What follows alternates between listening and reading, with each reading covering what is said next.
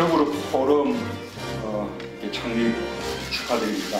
어, 많은 분들이 참여해 주셨는데요. 한 분은 좀 특별한 분입니다. 김응용 어, 감독님입니다. 어, 아까 우리 유정아 아나운서께서 어, 그때 타이거즈 감독이었다는 것만 말씀하셨는데 뿐만 아니라 삼성 라이온즈 감독도 하셨습니다.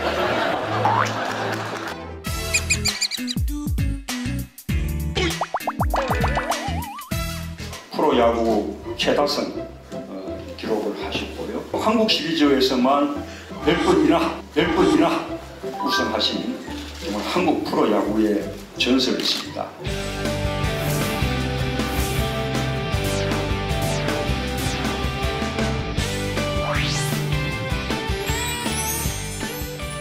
오늘 이 포럼에 또 대표 맡아주셨기 때문에 저로서는 정말 말로 없는